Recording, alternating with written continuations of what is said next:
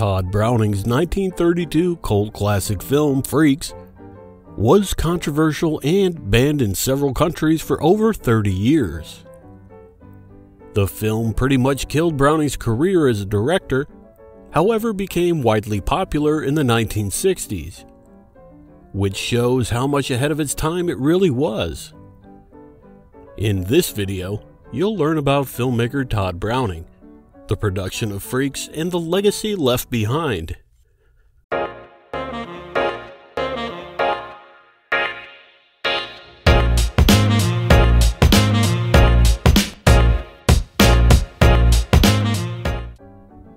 Tod Browning was the perfect filmmaker for a movie that featured a circus sideshow. Browning was always fascinated with the circus, and at 16 he left home to join.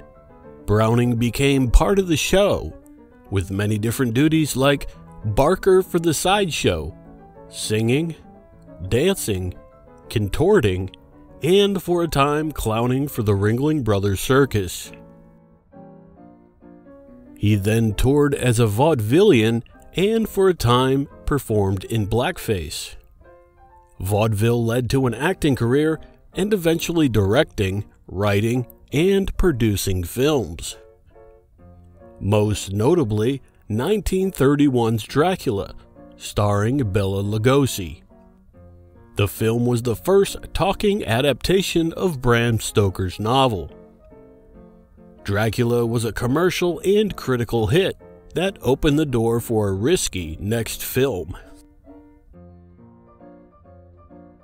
The first actor cast in the film was Harry Earles as Hans. Harry had worked with Browning on the film The Unholy Three and was actually the one who brought the story Spurs to Browning's attention. Harry's sister Daisy was cast as Frieda, as for the rest of the freaks, they were scouted in sideshows across the country.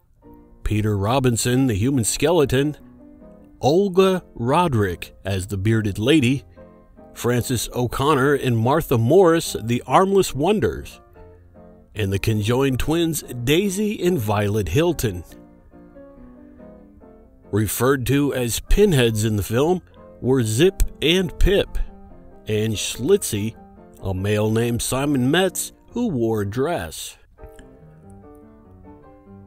Also featured were the intersex Josephine Joseph, Johnny Eck, the legless man who at one time was part of the Saw Man in Half illusion, the completely limbless human torso, most known for rolling and lighting a cigarette with only his mouth, Elizabeth Green, the stork woman, and Koo Koo the bird, who is most remembered for the scene where she dances on the table.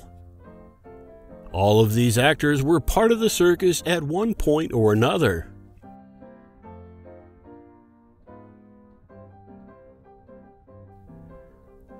Browning convinced MGM to buy the rights for the story Spurs and produced the film loosely based from the story. The script was shaped over five months and shooting started in November of 1931 with a 24 day shooting schedule. Some of the freaks created quite a stir at MGM Studios and were not allowed to eat in the commissary. So MGM constructed a tent to separate them from the average looking people. Some of the more normal looking freaks were able to stay and eat with the others. It's a bit poetic looking back in a way due to the narrative and theme of the film. Browning made the beautiful people the villains and the freaks the heroes of the story, which was a stark difference than Hollywood movies of the 30s.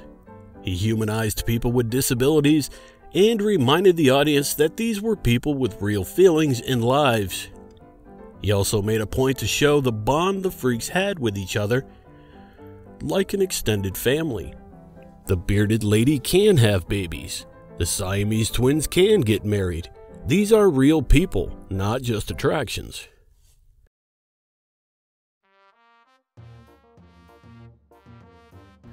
In January of 1932, MGM held a few test screenings.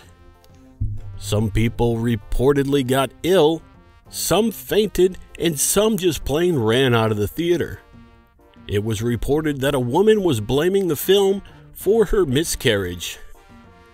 Due to the audience reaction, MGM cut the film from 90 minutes to just over an hour, without any consent from Browning.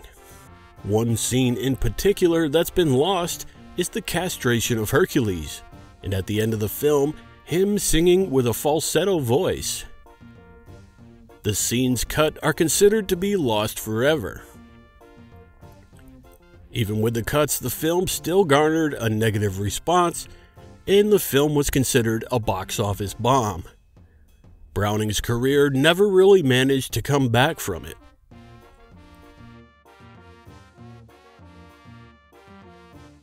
Freaks is now widely considered among director Browning's best films. The film's growing esteem among critics traces back to the early 60s when it was rediscovered as a counterculture cult film, particularly among European audiences. It was screened at the 1962 Venice Film Festival and shortly after it was shown for the first time in the United Kingdom, having been banned there since 1932. Throughout the 1970s and 80s, the film was regularly shown at midnight movie screenings in the United States. In 1994, Freaks was selected for preservation in the United States National Film Registry, which preserves culturally, historically, or aesthetically significant films. It is also listed in the book of 1001 Movies to See Before You Die. Freaks has inspired two unofficial remakes She Freak in 1967 and Freak Show in 2007. It also served as a major inspiration for the fourth season of the television series American Horror Story, titled Freak Show. It's unfortunate that Browning wasn't able to see the impact and love for the film after all these years. He died in 1962, right around the time the film was starting to get around to a new generation who could truly appreciate it. So, what do you think of the movie Freaks? Leave us a comment below and check out some of these other videos from the review.